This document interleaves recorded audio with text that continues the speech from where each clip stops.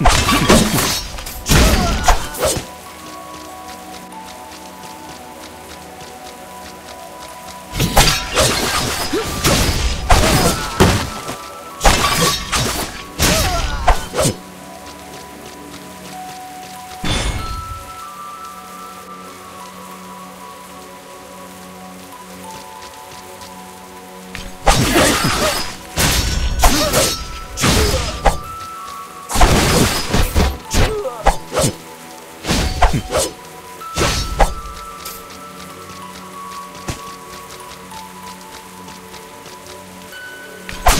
Hmm.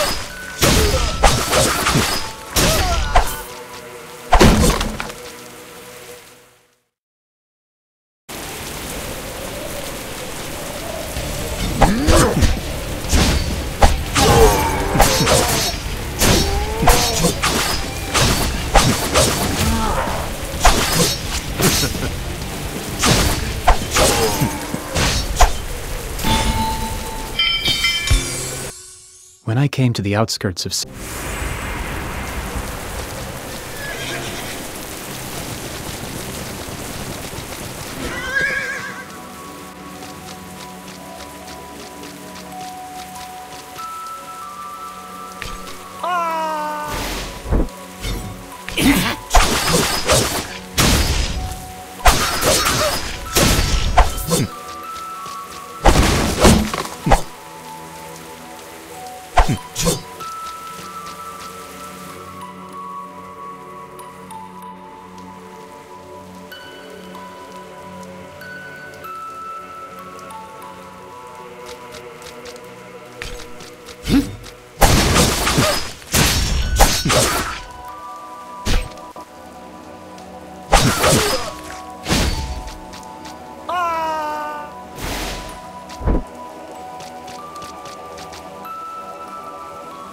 Hmm.